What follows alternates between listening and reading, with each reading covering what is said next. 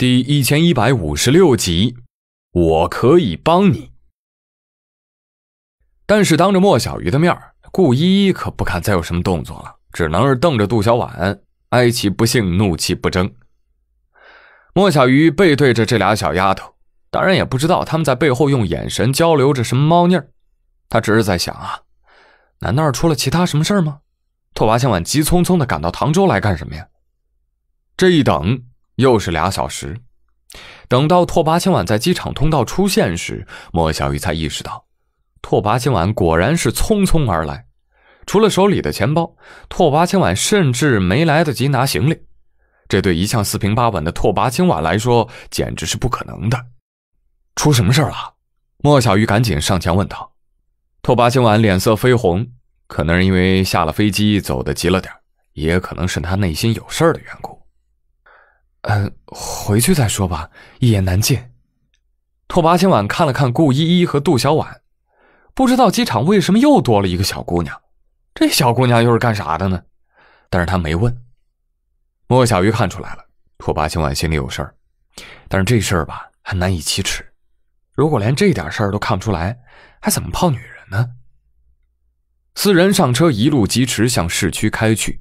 而莫小鱼则是先把拓跋千晚送到了唐州大酒店安顿下来。此时，顾依依说有事要和杜小婉说，他们自己打车走就行了。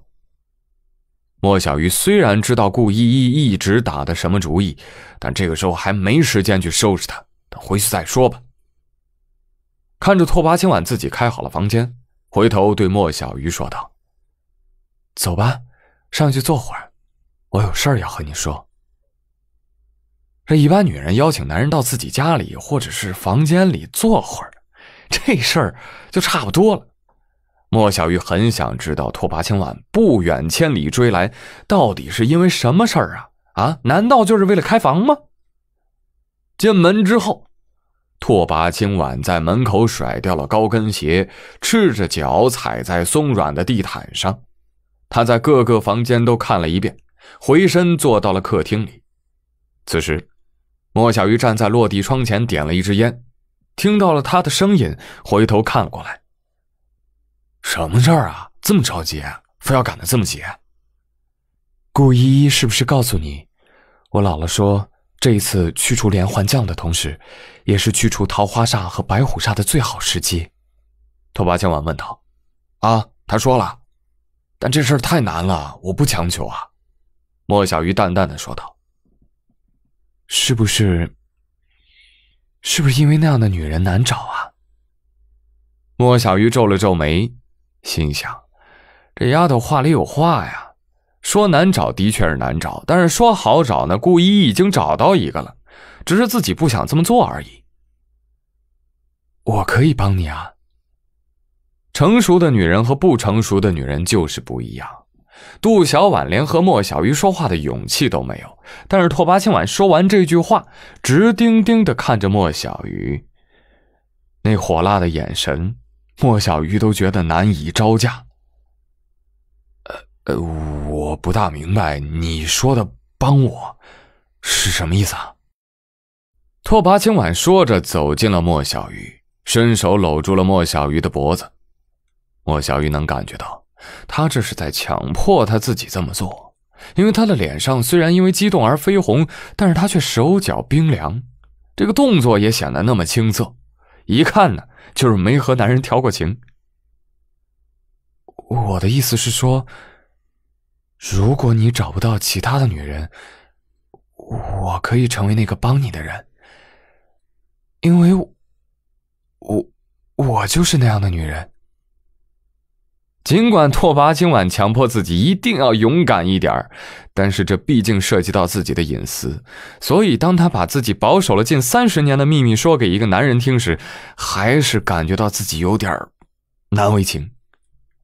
莫小鱼一下子愣住了，他如果现在还不知道拓跋今晚是什么意思，那他脑袋就是被门挤过。现在知道我是什么意思了吧？拓跋千晚问道。他好容易说完，但是却没有得到莫小鱼的回应，不由得抬头看向莫小鱼。啊，我明白了，可是你这样做，莫小鱼还想客气一下，哈哈，毕竟这事儿不是小事儿。再说了，自己的女人已经够多了，而拓跋清婉又不是一般的女人，这可不是一个善茬。要是真的和他有了关系，先不说拓跋清婉自己背后的关系，单单是筒子楼里那位老太太，自己可能就没能力招架。你放心，这是我自愿的，和任何人无关。我只是觉得，眼看着我心仪的男人死去，我有点不舍得。拓跋今晚这话再明白不过了，这世界上果然是没有免费的午餐。人家千里迢迢的追到唐州来，可是为了自己的事儿，而且还是这么大的牺牲。所以莫小鱼要是再装糊涂，那也要装的很高级才行。一般的小伎俩不可能蒙混过关。更为要命的是。拓跋青婉说完这话，深情看了莫小鱼一眼，慢慢的闭上了眼。因为是赤脚啊，所以在高度上有点不合适，以至于想要去献吻，他还要踮起脚尖。这个时候啊，拓跋青婉是有点恼火了。莫小鱼什么意思？我都这样了，你还装吗？以前可不是这样的。姥姥说他不是有桃花煞吗？怎么还会这么君子啊？在他想来。既然是身中桃花煞，哪有见了女人还不饿虎扑食的？莫小鱼也闭上了眼，并且伸手环住了拓跋青婉的纤腰。